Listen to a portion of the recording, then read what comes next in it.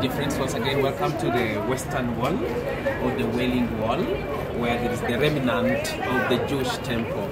You know, the Jewish temple is where the, the Ark of the Covenant was kept. And in the Ark of the Covenant, there was the Torah, which means the Word of God, the Old Testament, especially the Pentateuch. Also Aaron's staff, the rod, and many other things, which reminded of the, the presence of Yahweh, the presence of God among His people. That the Ark of the Covenant, which used to accompany the people when they even came from Egypt after slavery, throughout the 40 years in the desert, the Ark of the Covenant, the Lord was working with them. The Word of God, which is and life, was working with them in, in as they were on their journey through the desert. It's the word that accompanied them, it's the same word that continues to accompany us also uh, into into our lives. It strengthens us, it encourages us, it corrects us. And this is the Western Wall, whereby the whole Old Testament for the Jews is, is the basis of the Word God, is the Old Testament, which even we as Christians also believe in. And now, uh, here in the Western Wall is where the remnants of uh, the Jewish temple uh, is. And as we shall see here this side, the Jewish temple um, was destroyed many times and what remained is the wall. That's why they call it the Wailing Wall, the Western Wall, and uh, in this place, HaKotel in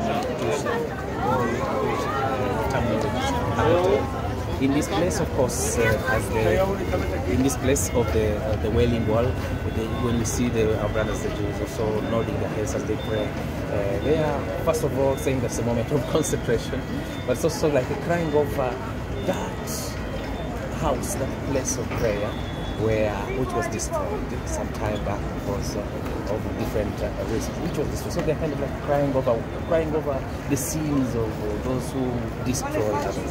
And so we pray that also uh, we may learn to pray and to cry over uh, our own sins, but also the sins of those who do bad others. And uh, in this place, it's the holy of holies for the Jews. It's built here, the wall which we shall see in a short time, and we shall see it's a place of holy of holies for the Jews, just as Holy Sepulchre, the tomb of Jesus, is uh, is for the Christians. Uh, the, the, also here, the, the Western wall is for the for the Jews, the place where the remnant of the Holy Temple is kept, as we shall see. Yes, as you know, in the Jewish culture, there is respect for women and respect for men, and there is this clear distinction. Men pray together alone, women pray together alone. So this side that you see is a section for the women, and the other side is a section for men. This is a, a culture, but the culture is also connected to the religion, religion, which is a way of praying. And each group prays together in peace wherever they are as men or wherever they are as women. This is a Jewish culture and it's a beautiful something uh, that happens here in this context of Jerusalem.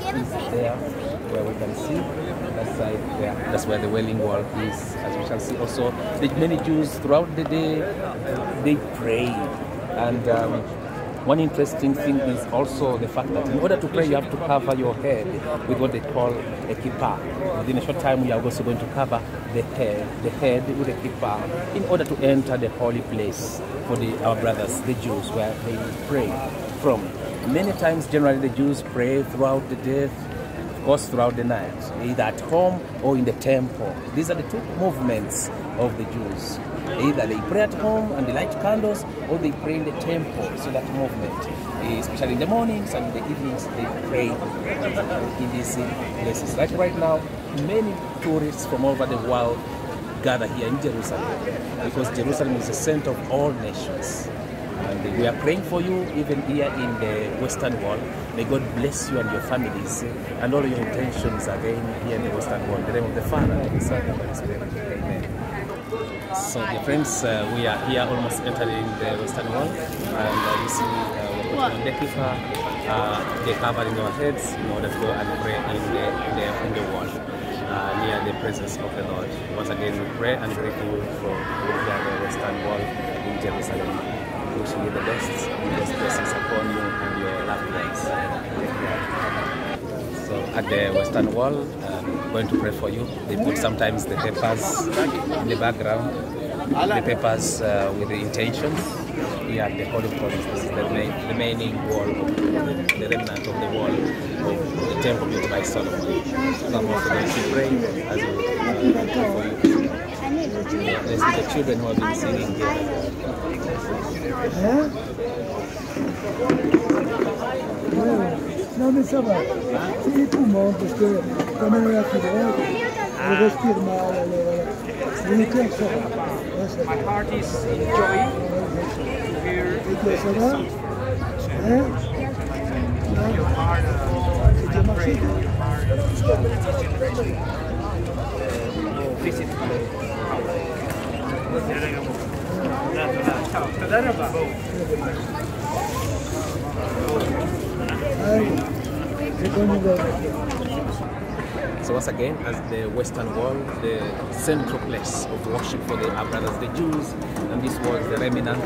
It's under the construction because on top there is also uh, the well the mosque, mosque of our brothers Muslims too. So here is the remnant of the wall, and where the Jews come and pray, as we can see some of them here.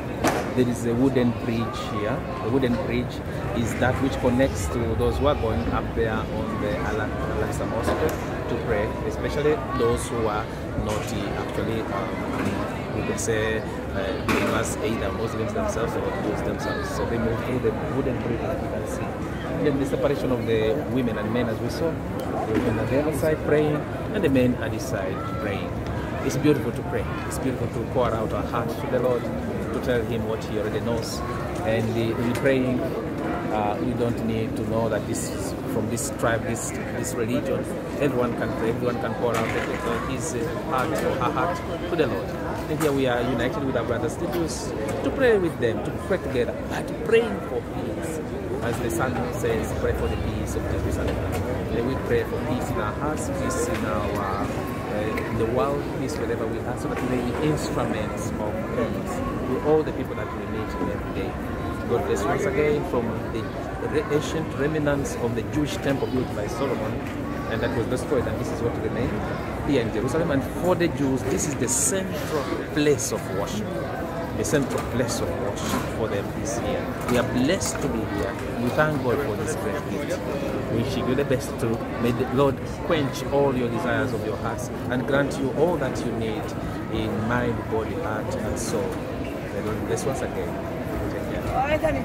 This was the entrance from the when we were entering the western wall and the wailing wall. Of course, the section for the ladies is the other side where they went to pray, and women we were here this side praying together. And right now we are towards our exit here, where we shall take uh, either the Damascus Gate or one of the places to the Zion Gate. And uh, but before that, we shall be able to also see the, the, the, three aspects here, especially the remnant of the temple and also the, Entonces, the Al-Aqsa Mosque and the, the, dome, the dome, the dome of the rock as well. Uh, we shall be able to see from on top at, uh, within a few short time. So once again, here we are in uh, the Wailing Wall. God bless. So dear friends, once again we are here trying to look at the western wall, the Wailing Wall from a distance from on top. And we saw the mosque we were talking about here, the Al-Aqsa, which is the third place for the Muslims. And we have the Dome of the Rock, which is not a mosque, and on which it is believed, according to the tradition, that the, the story of creation took place there. That it's like in the Genesis, and we hear the story of creation that God created Adam and Eve is took place there. Also about uh, the encounter with Jacob, it is also believed to be there. And uh, from this same rock, we see that the temple of the Lord, which uh, now we have been talking about, will be built on this rock just down there, which we just saw right now, where the central place for the Jews is. So we see that in this holy place for the Jews, it is where for them is the holy of holies. And we unite with our brothers, the Jews, to pray for our brothers, the Muslims, to pray for our brothers, the Christians, so that all God's people can always pray for peace in the world, so that we may live together as one people with the one God so we greet you once again from the Wailing Wall. I know, I know it's a Wailing Wall. It is a place of crying, of crying, but in our lives, a lot has taken place as well. And we would like to offer it to the Lord so that He may console us and comfort us always in all our ways. Let us pour out always to Him in every. Here in Jerusalem, the great year. May there be peace in our hearts, peace in the world, peace in Jerusalem, peace in our homes. Amen.